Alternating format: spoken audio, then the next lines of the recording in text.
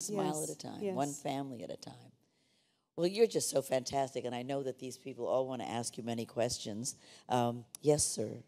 Sorry. Oh, you're you're the questioner. That's great. Hi, Ms. Downey. This is such a bucket list moment to uh, meet you.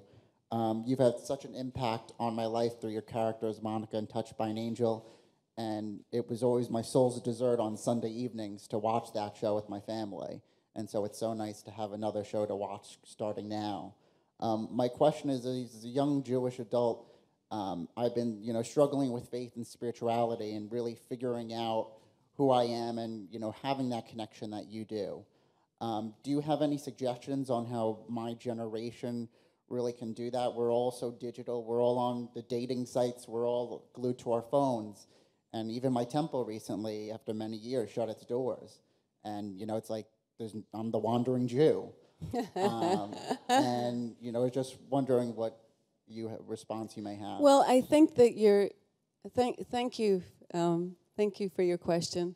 And I think that to your point of the overstimulation of the world that we live in, you know, I think we're bombarded with with uh, noise, aren't we? It's like with our, and we're all filled with distraction.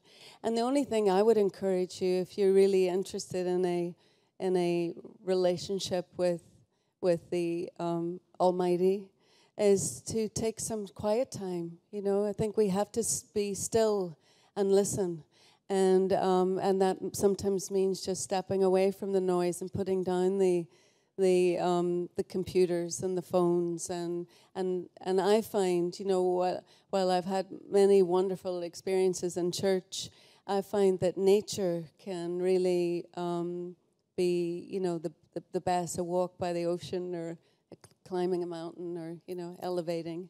But I think be still. I I think that we have each within us. We all have the capacity to listen to that small voice within you know that voice that tells you we the voice that tells you to what to do. You know when you ask there's a knowing. I i believe that's the god voice in each of us.